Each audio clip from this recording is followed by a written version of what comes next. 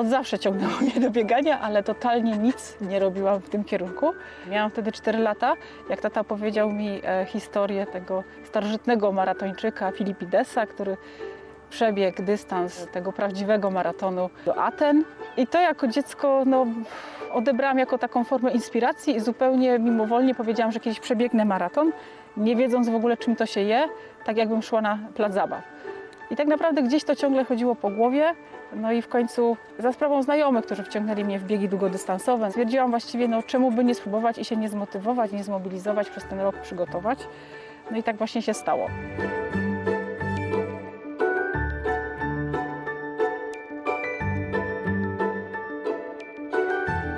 Moja przygoda z bieganiem zaczęła się w 2014 roku od biegu Fair Play na trzech stawach. To był bieg charytatywny, 5 km w limicie 50 minut. Pomyślałam, że dam radę. I tak to się zaczęło.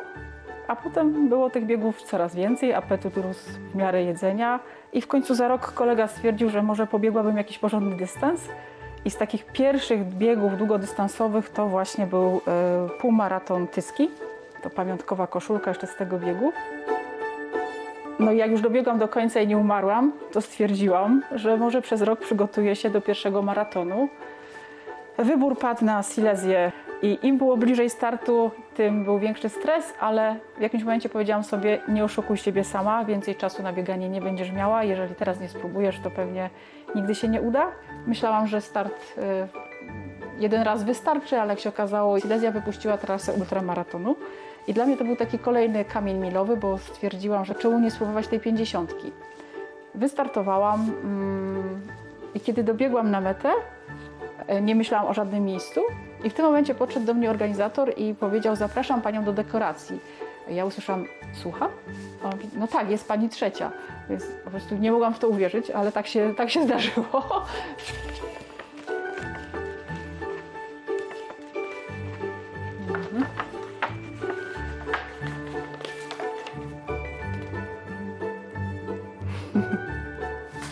To jest na przykład baner, z którym moja koleżanka z pracy czekała na mnie w Mysłowicach na mojej pierwszej trasie ultramaratonu w 2019 roku.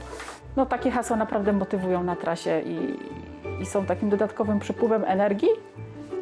Na razie zawsze dobiegłam. Przyznam szczerze, że nigdy nie liczyłam medali i nie liczyłam startów. Na oko myślę, że jest około 60. Biegów jest dużo, one kuszą, ale zawsze trzeba też sobie to szczęście dawkować i, i cieszyć się też tym startem, a nie tylko je odhaczać i zaliczać.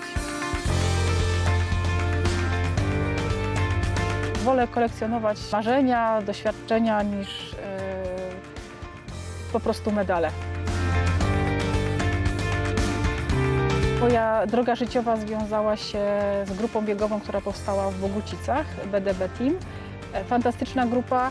Ja przez wiele lat marzyłam o tym, żeby w mojej dzielnicy powstała grupa biegowa, żebym miała e, z kim pobiegać. Więc no tutaj też serce należy do Bogucic.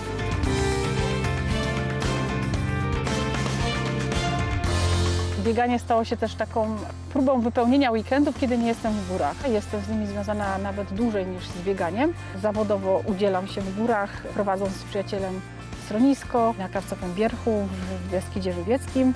No i będąc też członkiem e, sekcji alpejskiej Deutschen Alpenverein, e, grupy górnośląskiej z siedzibą właśnie w Katowicach, założonej przez mojego kolegę z klasy licealnej.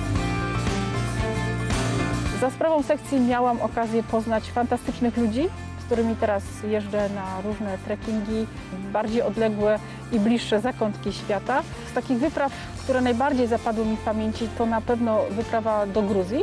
Najbardziej egzotyczną wyprawą była wyprawa do Patagonii i Kirgistan w zeszłym roku. Tam też udało mi się wejść na najwyższy póki co szczyt w moim życiu, 4,5 tysięcznik, Pik Uczytel. W tym roku byliśmy na trekkingu w Islandii.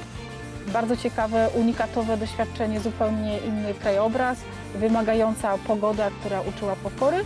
Natomiast no, widoki, kraj ognia i lodu, wulkanów i lodowców no, rekompensowały pewne niedogodności związane z pogodą, a wrażenia zostają na bardzo długo. I to jakby dla mnie jest kluczowe w tych wyjazdach, że Jest ktoś, kto podziela też tą pasję. Myślę, że pasje w życiu bardzo pomagają człowiekowi. Życie bez pasji jest trochę takie pozbawione kolorów. Warto nie czekać z realizacją swoich marzeń. Mamy jedno życie i trzeba je przeżyć ciekawie. Kiedyś usłyszałam, że warto żyć ekstremalnie, a, a niekoniecznie zwyczajnie. Dlatego myślę, że jeżeli gdzieś jest iskierka, żeby czegoś spróbować, to trzeba w tym kierunku podążać.